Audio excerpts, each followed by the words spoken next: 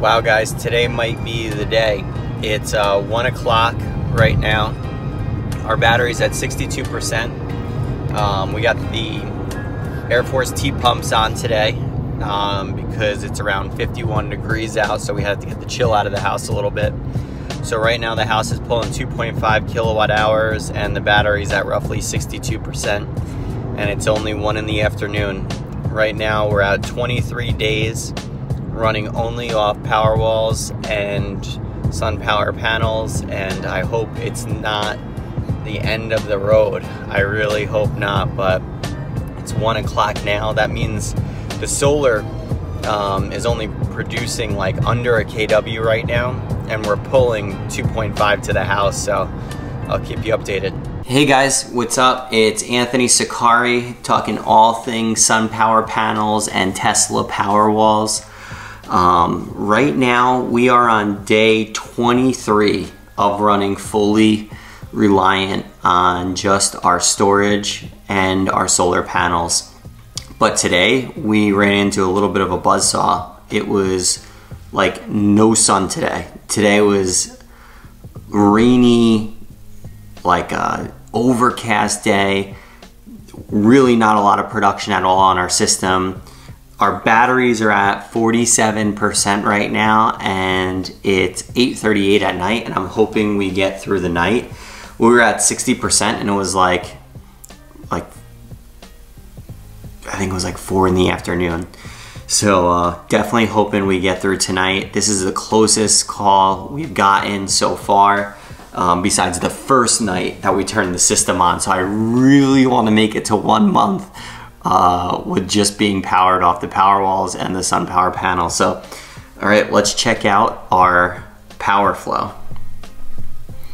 So right now we'll go into what the system, just today, we'll look at today. So our solar production, so minimal today. I mean, today we produced four kilowatts um, from the panels.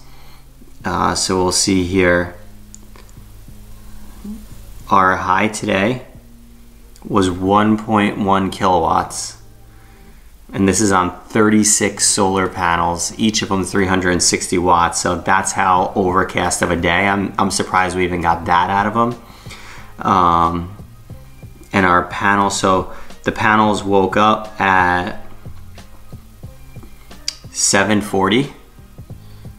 Um, our high was at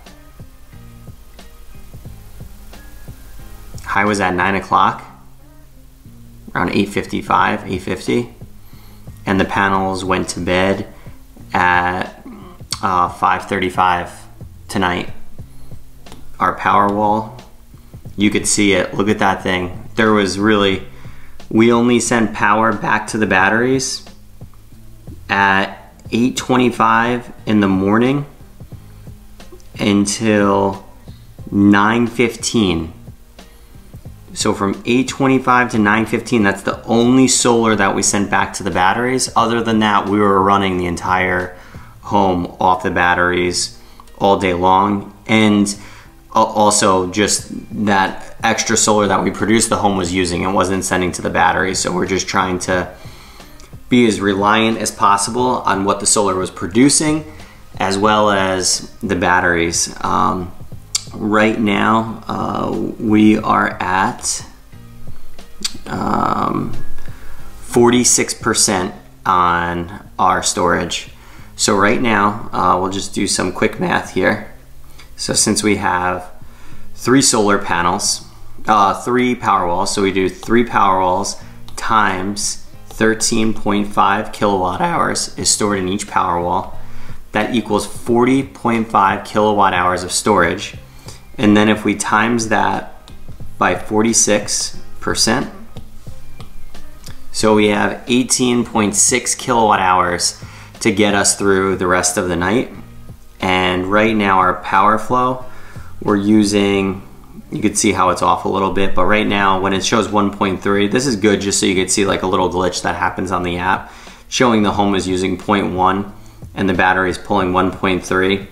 Right now I know that the home is using 1.3. It's pulling 1.3 kilowatt hours from the battery right now, But this is just a little glitch on the app and sometimes this happens and you just gotta be aware of it. But after looking at the app for so long, I know that this is 1.3 and this is a rare glitch. It maybe happens, uh, you know, every so often. And when it does, I know that the home is using 1.3 kilowatt hours right now. So I have, uh, you know, 18 kilowatt hours roughly of storage left to get me through the night. So I am going to uh, shut it down right now and I'll report back to you guys tomorrow and fingers crossed we make it through the night. All right, signing out, day 23, fully running off the Powerwalls, sun power panels, off-grid lifestyle in a modern home right now. So we'll keep you guys updated. We'll see you later.